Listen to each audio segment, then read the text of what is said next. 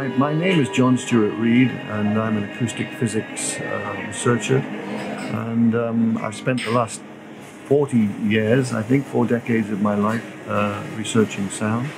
So um, it's a topic which uh, is very dear to my heart. Why? Because sound underpins every aspect of the universe, or almost every aspect of the universe.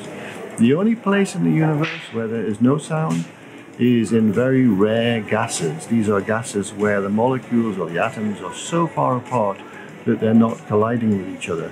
But whenever you have uh, gases or matter that we think of as solid matter, but wherever you have matter on Earth for sure, then the atoms and the molecules are always having elastic collisions, and that is actually a definition of sound. So, in other words, sound underpins everything on this Earth. Fantastic.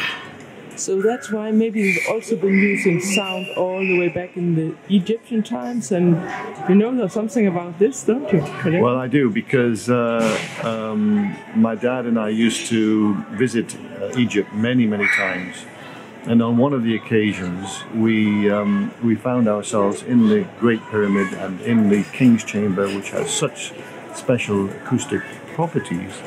This was actually in early 1996 and uh, you know 22 years ago or whatever now. And uh, on that particular occasion i lay in the sarcophagus and which you're not supposed to do it's a bit naughty you know? yeah, yeah, but uh, but anyway i did many people do. And i made a vocal glissando and at one particular frequency a low a low pitch um, that i thought was somewhere around 100 hertz.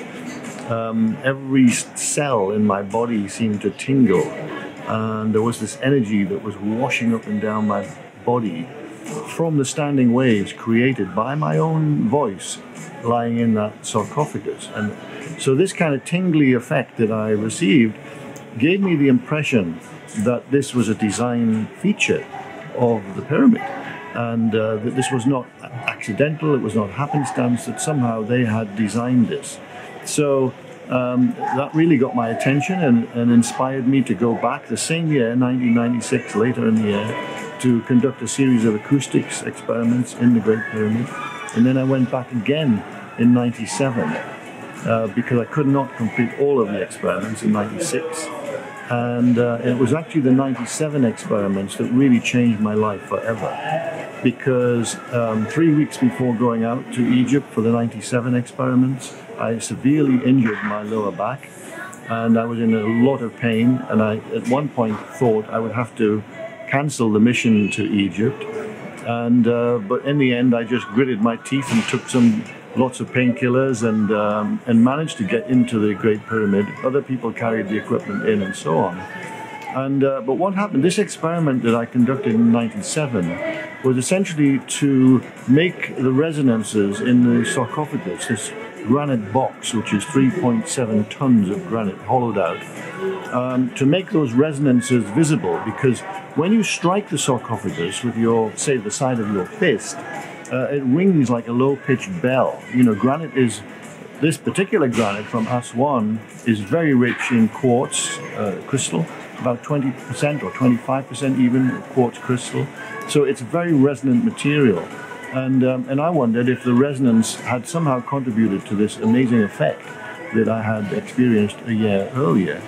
So uh, the, the, the, experiment uh, was designed to make those resonances visible, and the way I uh, designed the experiment was to stretch a membrane across the open top of the sarcophagus and to weight it around the perimeter with little bags of sand, which I had collected outside the pyramid.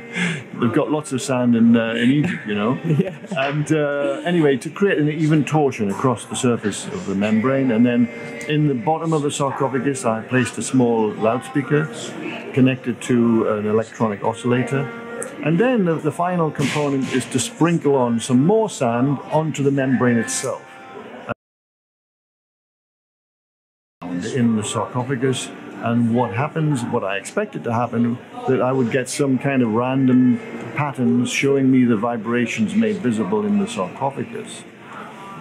But two things happened. The first one was that I began to see what looked like ancient Egyptian hieroglyphs appearing in the sand the sand from sound? from sound, and um, I was very excited, you know, seeing these what looked like ancient Egyptian hieroglyphs, and the antiquities inspector also got very excited. He was with me, and um, and he said, "How can I help you? You know, what can I do to help?" And so suddenly he, he had been transformed from a very bored man.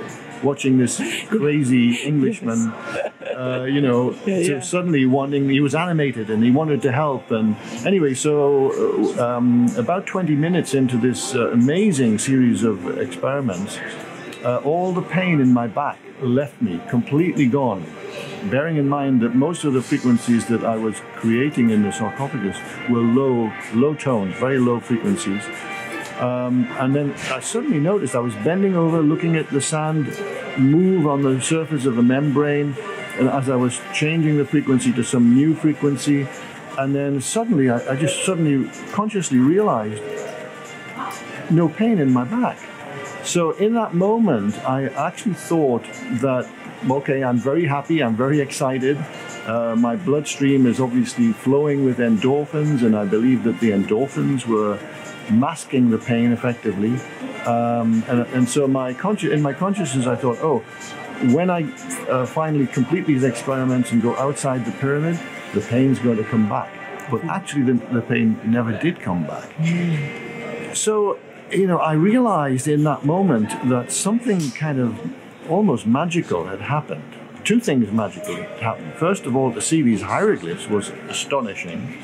And then to realize that all the pain had gone, and especially later outside the pyramid and going back to the hotel and so on, never came back that pain. So I realized that, that uh, two things. First of all, that this experimental design could become a new scientific tool uh, for investigation of anything that's resonant. That's the first thing. And then the second thing was I realized that uh, sound had obviously been involved, was the prime mover in, in causing the pain to, to vanish completely. Having been in pain for three weeks up to this point, so that changed my life in two ways. You know, one was uh, to design an instrument that would be using these same kind of techniques, cymatic techniques, the, the science of visible sound, and then secondly to begin investigating uh, the mechanisms that uh, underpinned my own healing. Why had that happened? Why had how had this low frequency sounds that I was creating? How had they suddenly created a situation where my cells were happy enough to release the spasm in my lower back and to cause the pain to just disappear. And so it is, this journey that I've been on uh, ever since then has been concerned with the development of the CymaScope instrument, which is what we call the instrument that makes sound visible. No longer using sand, of course, we now use water as the imprinting medium, so we imprint sound onto water. And what that does is it transposes the what we would call the sonic periodicities, you know, the vibrations in air that we call sound. These sonic periodicities can be transposed into water to create what we would call water wavelet periodicities. So now what we have in the water is a kind of model of the sound. It's, a, it's, it's really the sound made visible. And, and of course, you know, our visual acuity is such that when we can see something, we can understand it at a far mm. better and deeper level. That's how the world is made.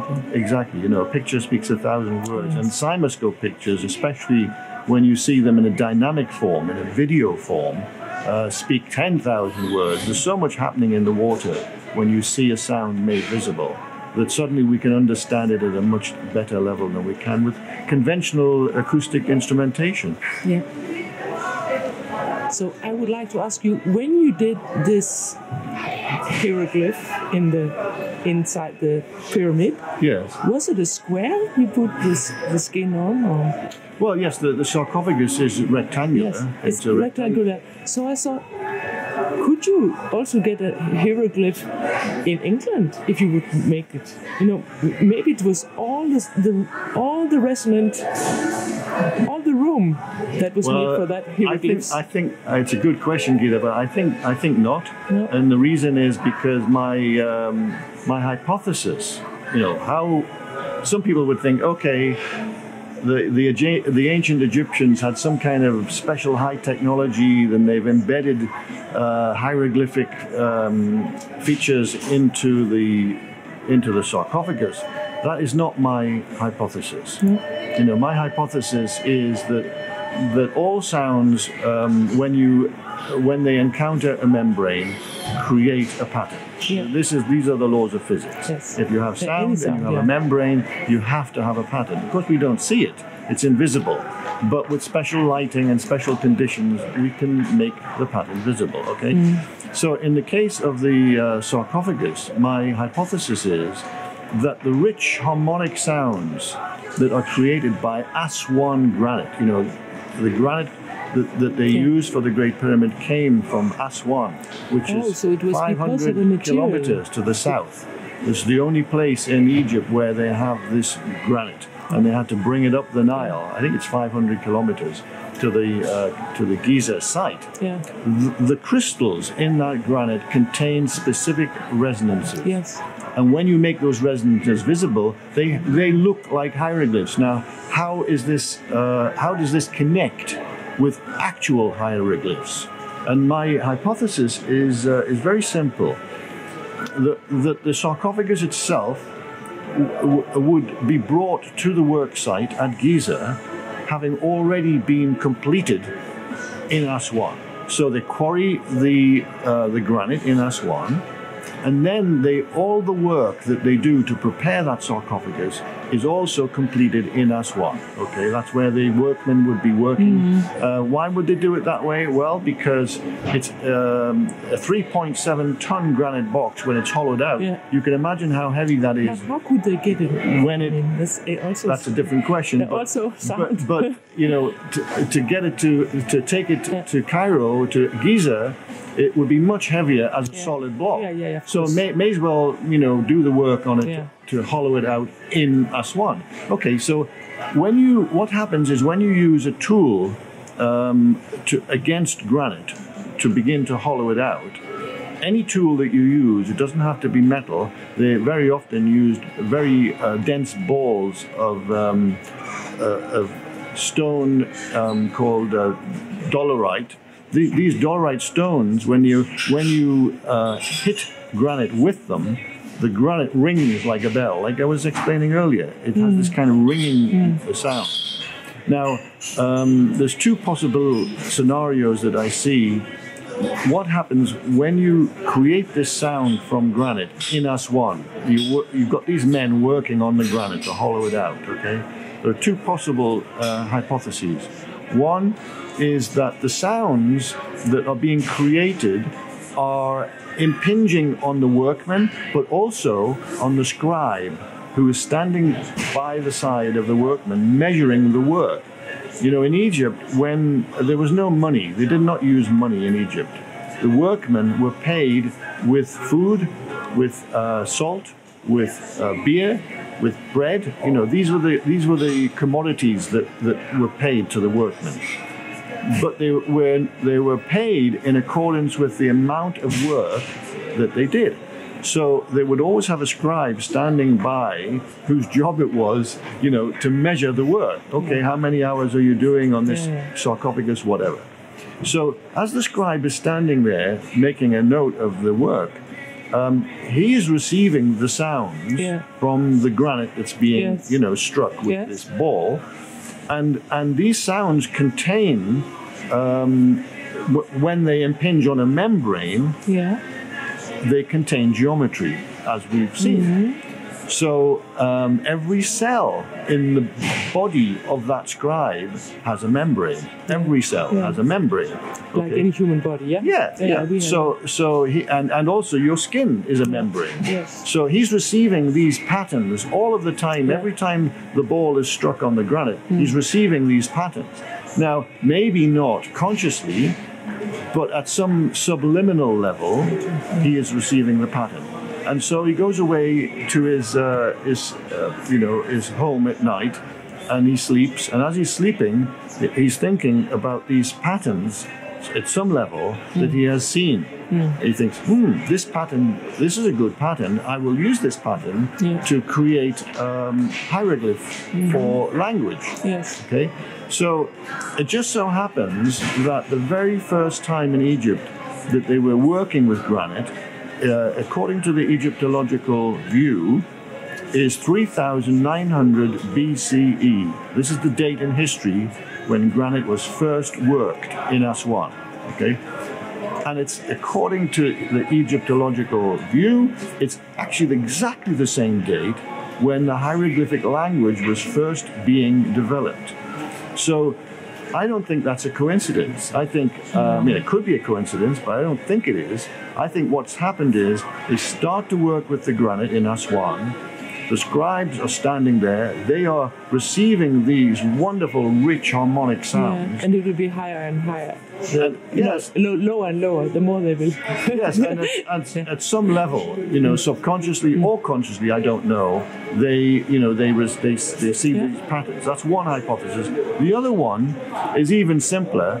It's just that um, around the same date in history, again, it seems like a big coincidence, but according to the uh, history, around that same date is when the, the first evidence of drums, you know, the, Yeah. a drum that you would use in music, first evidence of drums being used in Egypt. May, maybe they used them earlier than 3,900, but there's no actual evidence, you know, where you've literally got a, a, a, me- a drum that you found archaeologically and you've been able to date it.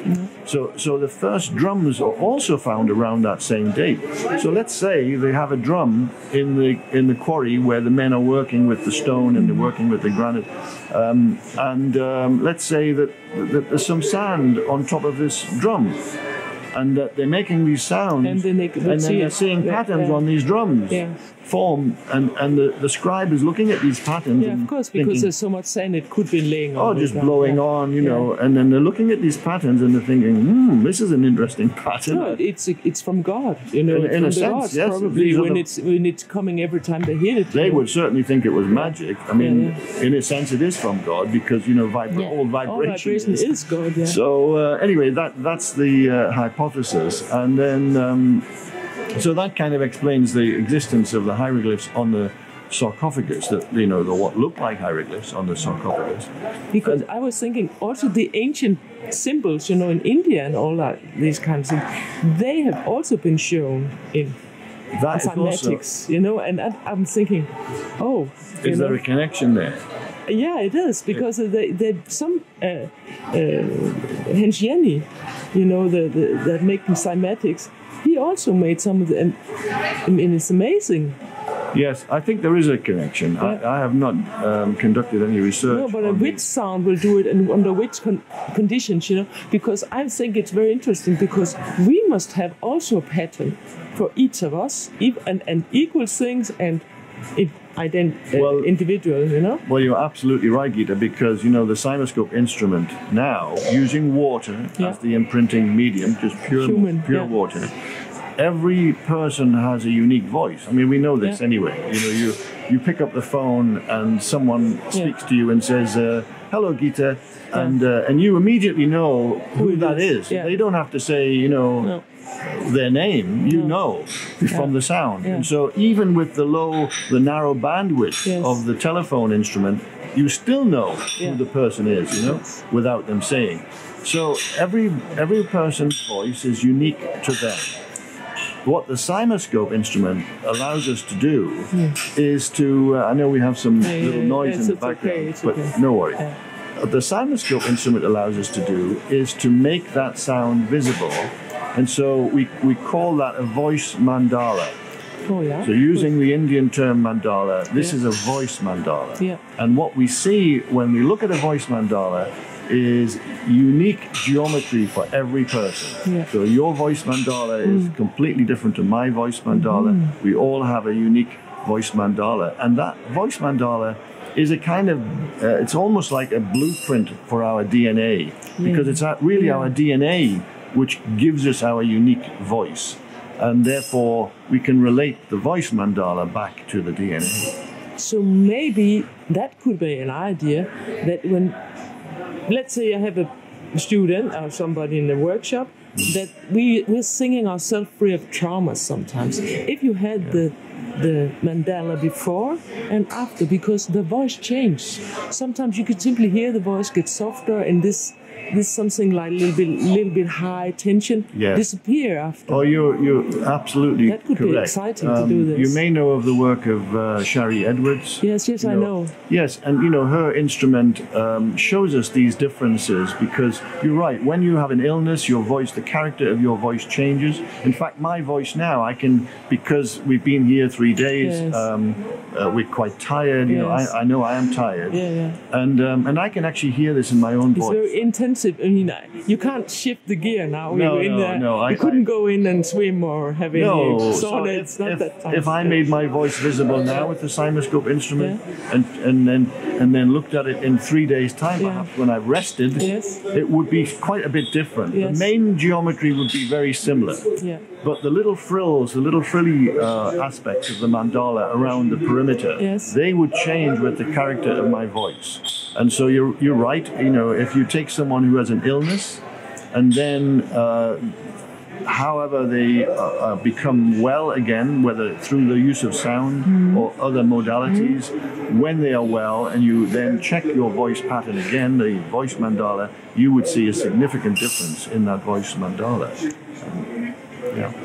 So maybe it even could could be used as a kind. If you knew all the illnesses, you know, like you have the iris analyze, how you call it in English, when you look at the eye, Yes. like a mandala, also to see the illnesses. You know, people. Oh yes, iridology. Iridology. Iridology, Okay. Maybe yes. it could be used like this with the voice. It could. It probably could. Yes, that- I think that I see that happening some years. Yes. You know, in the Ahead, future. yeah. But yes, a definite possibility. And then you know, you asked um, earlier. You were talking. We were talking about uh, sound therapy. You know, how does uh, sound actually cause the body to heal? You know, what is it? What is the what are the characteristics of sound that causes that to happen? And and how was I healed in the Great Pyramid in 20 minutes? Only a short period of time. Um, and uh, it would probably take me quite a long time to describe the whole process. But uh, in very simple terms, there, there are two mechanisms. The first one is um, in your in your body, your whole body is covered in um, nociceptors. These are the nerve endings. You know, we have nerves everywhere, and uh, in the tips of our fingers, for example, you know, millions and millions of these little nociceptors, which is why um, our fingertips are so sensitive. And this is why, you know, blind people can read Braille and so on because the, the fingertips are just so sensitive. But the whole body is covered in nociceptors. Sorry, but that's where they feel it when you have, when we have given sound healing to people. They say, "Why my fingers are like they can feel it." Tingling. Yeah, it's tingling. Exactly, yes. tingling. Yeah. Okay, it's a very good point. So, talking about these nociceptors, which are the very ends of the nerves in your body, okay, they connect with um, fibers that are called afferent fibers. These afferent fibers are carrying, there's various types of afferent fibers. I'm not going into all the details, but there's various categories of afferent fibers, but all of them are all capable of being uh, stimulated by mechanical pressure. Yeah. This is why, if you have a pain, say someone um, you you injure your leg in some Yes. way, and you have a severe pain in your leg, you immediately go to your leg and you hold it tightly. Yes. You put Yes. pressure Yes. on your leg or Yes. your shoulder. You Yes. hold it very tightly. Yes. And you find that this this pressure that you put onto your say your shoulder, it mediates the pain. It Yeah. immediately gives you relief. Yes, you pain. hold it because You hold it. pain. You hold it. Yeah. Now the reason that happens is because the nociceptors are sending signals. When you put pressure on them, the nociceptors are sending signals to the midbrain, and what the midbrain does when it receives this these pressure sensors, it creates opiates. These are literally pain um, pain, pain mediating substances that block any further pain re- reaching the midbrain. So it's kind of a way of, of uh, neutralizing or mediating the pain. So that's why the sound can do it The too. sound does Yeah. Mm-hmm. it because sound is mechanical pressure, and particularly low frequency sound has a very, very beneficial Yes, effect. I have that experience too. It just my voice just started to make them, Yes. and in the first time, it's 25 years ago, it started to come. Yes. I- I want to sing normal, but it just started, uh, and the people said, "Oh, please, could you continue? It feels good, you know." Feels good. But I felt so ashamed by, and that's the thing when we're doing this, it's, it, you have to get used to it. Mm-hmm. Yes, it doesn't yes. sound so well, but it's after I did this, I mean, all kind of things got healed. Wonderful. And I had the same things uh, that in the bones, Yes. like the back, a broken fracture can be healed like um, two thirds of the time. Exactly. In some cases. so, so the first mechanism is this low frequency sound. Yes. um, across quite a, a large range of low frequencies. You know, um, from uh, well, the lowest the lowest note that a human being can make, a, a, a man, a bass Yeah. you know singer, is down to about 50 hertz, something like that, 50, 60 hertz. But with undertones, Oh yes, undertones as well. That's true. Yeah. But then, um, you know, the male voice range go up goes up to you know quite a few hundred, Yeah, yeah. Uh, and and, the, and many many uh, women can sing down to. 100 hertz or even Yeah. lower.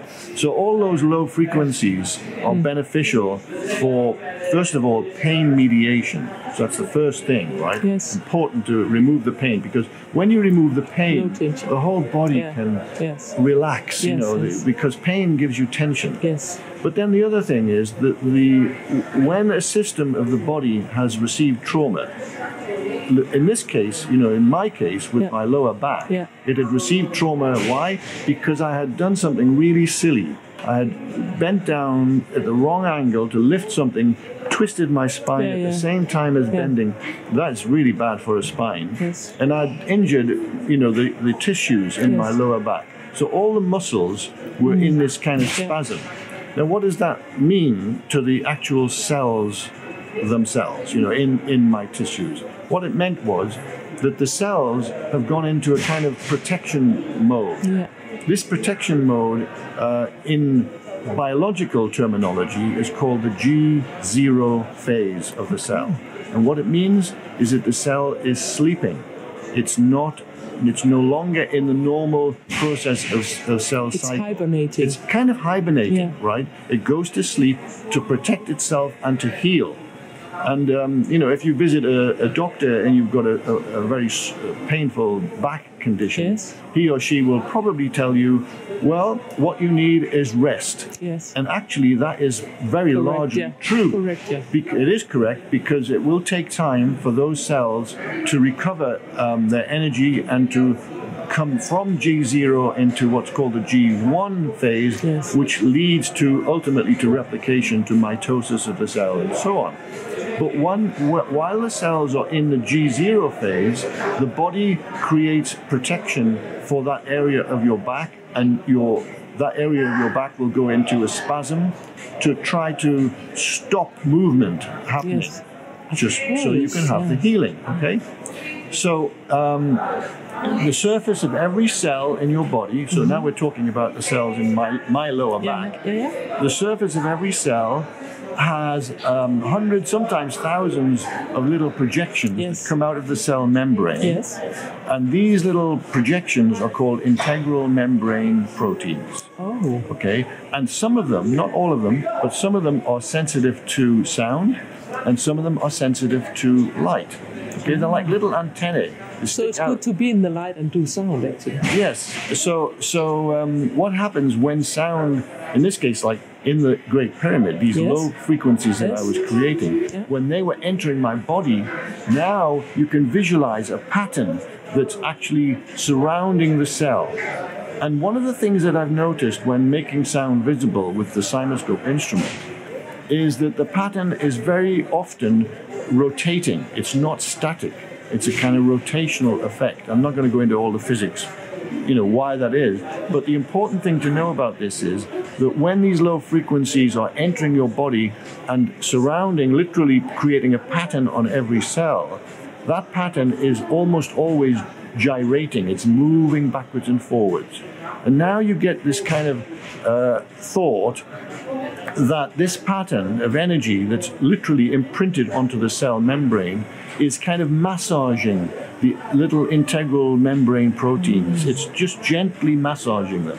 And what it's doing, I think, is it's saying to the cell, it's okay, you can wake up now, Yes, you yes. know, here is some energy, here's Yeah, some you- gentle energy, it's okay to wake up. Yeah. And so the cell thinks, ah, I feel much more comfortable now, yeah. you know. And so as soon as the cell comes out of the G0 phase and starts to go into the G1 phase, it also sends a message to that area of the body to release the spasm.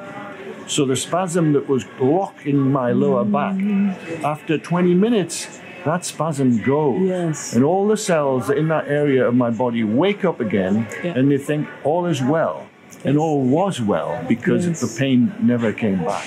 So that's a kind of very, uh, you know, um, broad brush Yes, Uh, kind of snapshot of how sound therapy So- actually works. So the sound actually can treat all what has to do with this tension or this hibernating cells. Yes. But if there's a fracture, it will take a little bit more time. Or, fractures- something where most, you know, because that's why I, I never say I can be sure that it will work because there are certain things that it will take more time. Yes. And the, the sound will probably help it to heal faster, but it takes more time. Yeah, for broken for Yeah. broken bones and Yeah. fractures, of course. But Yes. you, but but certainly, um, even in the uh, mainstream medical model, uh, ultrasound, which is simply high frequency sound, Yes. is used particularly for fractures uh, where, say, you, you've you've broken your arm in some Yeah, way, and then you've done something really silly. You- You've got a, a plaster cast on your arm. Yes. But then you lift something heavy with it, and you should not. No. But you've done that, and you've you've um, changed this, the way that the body is trying to Yeah. mend this fracture. Yes, yes. And so, what happens very often when a fracture is disturbed in that way, the body stops the healing process completely.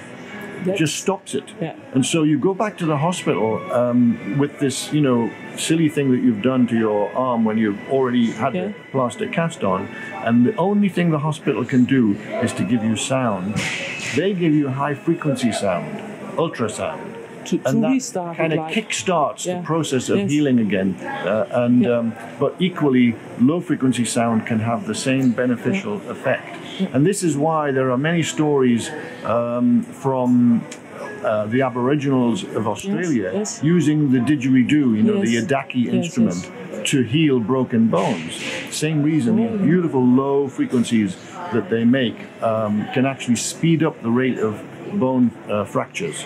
And maybe even if people are stressed, you know, maybe you can be lucky. I had some coincidence uh, where, where we found the place in the body where it's placed, where Yes. it's the tension, Yes. and a mixture of me healing with the undertones and them singing themselves free of the traumas that caused this, or maybe they they crossed their limits, you know, Yes. and then they were free.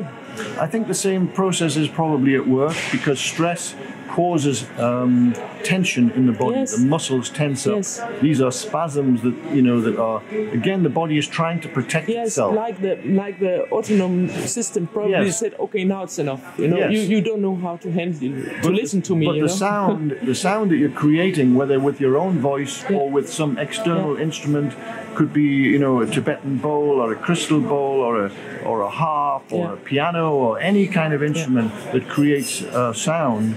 Can, can enter the body and cause the cells in the body to receive that energy Yeah. and to relax and Yes. to leave go of the tension, basically. So sound is very, very healing. In fact, in fact, sound, you know, it was Pythagoras who first said Yes, yes. that sound could be used in place of medicine. Yeah. Uh, was his biographer, one of his biographers, Iamblichus, who said that. He, that, that Pythagoras said sound could be used in place of medicine. And it just so happens to come full circle Yeah, back yeah. to where we were talking about ancient Egypt Yes, yes. that Pythagoras traveled in Egypt.